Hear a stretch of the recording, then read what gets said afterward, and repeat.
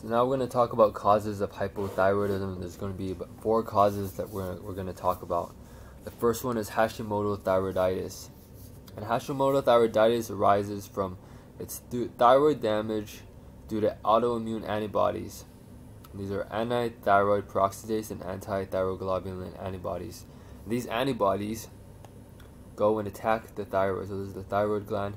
These antibodies go and attack the thyroid and damage the tissue. So you get damaged tissue, you get re- uh, decreased release of thyroid hormone, and now you have hypothyroidism. So the way this presents, the clinical features here were the hypothyroid symptoms. And do you remember what those were? Remember we had the, the triad of symptoms from decreased metabolic activity. So just cold intolerance, decreased sweating, you have weight gain, you have dry cool skin, and you have some hair changes, coarse and brittle hair and then you have symptoms from understimulation of the sympathetic nervous system. So you get constipation, you get decreased activity, you get bradycardia. And then you have a couple other ones. You have the oligomenorrhea, de- decreased deep tendon reflexes, you have the generalized myxedema. So that's all the hypothyroid symptoms. You don't have to know them word for word exactly, but you do have to to be able to recognize that clinical picture because that's how the patient's going to present. And the other key differentiating feature for this one is you get a painless thyroid enlargement. So the inflammation causes enlargement of the thyroid, and for Hashimoto th- thyroiditis, it's going to be a painless enlargement. Okay, and this disease has an increased risk of a B cell non Hodgkin lymphoma. So for diagnostics, the key things you want to know about is that you will see Hürthle cells on Hashimoto thyroiditis, or Hürthle cells, Hashimoto thyroiditis these are eosinophilic epithelial cells. So if you see eosinophilic uh, staining, that's Hürthle cells and Hashimoto thyroiditis.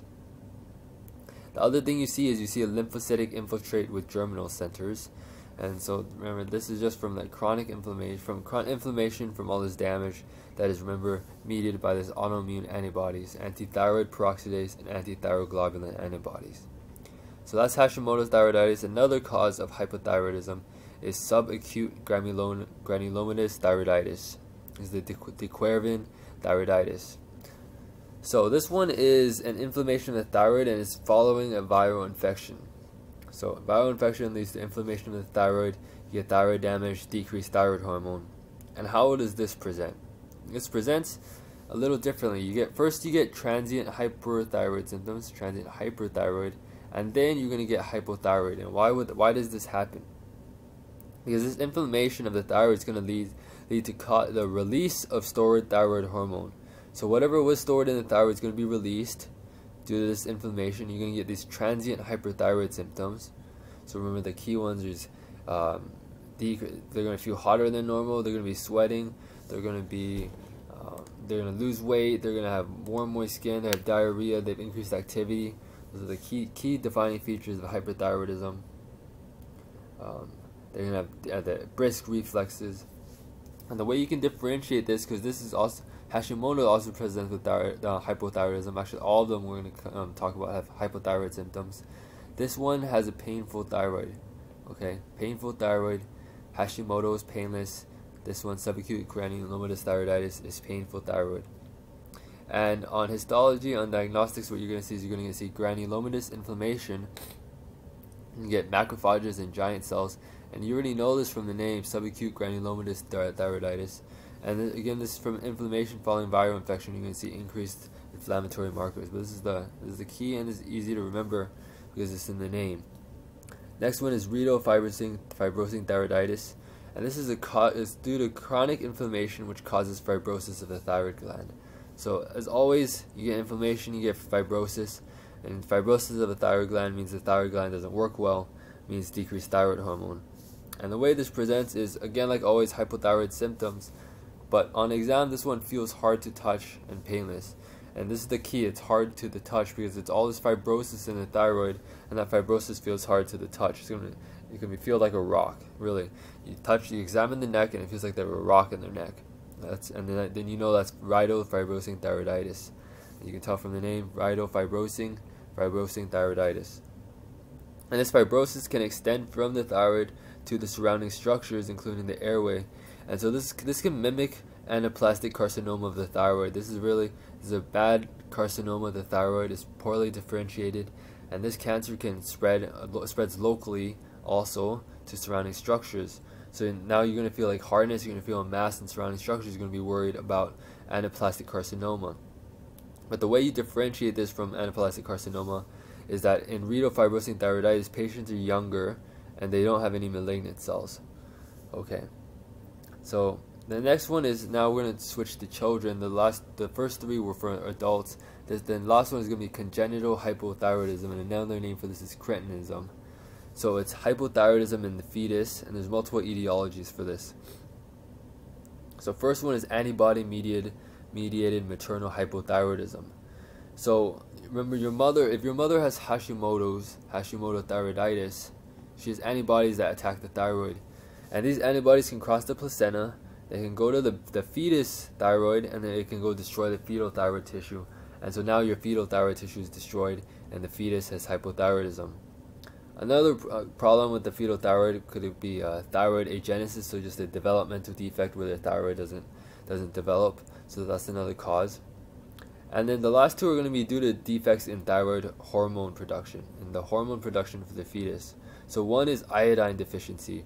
Remember we talked about in the thyroid hormone synthesis that iodine was key for our synthesis of thyroid hormone. So if the baby doesn't have enough iodine, it's not going to make thyroid hormone, and so they're going to have hypothyroidism.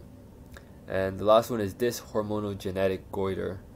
And this is a genetic problem. It's a genetic problem with a, it's a genetic defect in thyroid hormone production. So you can see dyshormonal, so hormone it's related to the hormones, and this means it doesn't work well. So dyshormonogenetic goiter, genetic defect in thyroid hormone production. So again, these two are due to damage to the thyroid itself. These two are due to problems in uh, thyroid hormone production. And how does this present? How does congenital hypothyroidism present? Uh, this just just go back to the thyroid hormone function. Remember that thyroid hormone. What, what was what was important for in the baby? Remember, it was important for maturation of the CNS, so development of the brain, and the other thing is for development of the skeleton. Remember, we talked about how it works together with growth hormone to influence growth. So if you have the, uh, low levels of thyroid hormone, you can get impaired development of the CNS in the brain and impaired development of the skeleton. So the way this presents is you're going to have mental retardation from the brain impairment. To have short stature and skeletal abnormalities. That's from the, the skeletal abnormalities. And then the other things you're going to see is you're going to see an enlarged tongue and umbilical hernia. So, mental retardation, short stature, and skeletal abnormalities, and you get enlarged tongue, umbilical hernia. So, just to review, you have we have a bunch of causes of hypothyroidism in adults. You're going to be thinking about these three right here. Um, there's they're all going to be very similar. You're going to have that hypothyroid symptom. So the way you have to differentiate it is Hashimoto's has this painless thyroid enlargement with nothing else. Subacute granulomatous thyroiditis has you can have transient hyperthyroid, so they're going to be hyperthyroid for a little bit, but they're going to be followed by hypothyroid symptoms, and it's going to be painful on exam, painful to touch. So that's that's uh, identifying feature. And then fibrosing thyroiditis, fibrosing tells you everything. It's fibrosed. It's very hard to touch. It feels like a rock. Okay, and then also some diagnostic features. So Hashimoto's has the Hürthle cells and germinal centers. The subacute granulomatous thyroiditis, you see granulomas as you see from the name. And then finally, we have congenital hypothyroidism. Just remember, thyroid function tells you a lot, and just and then the other things to remember is you get enlarged tongue and an umbilical hernia.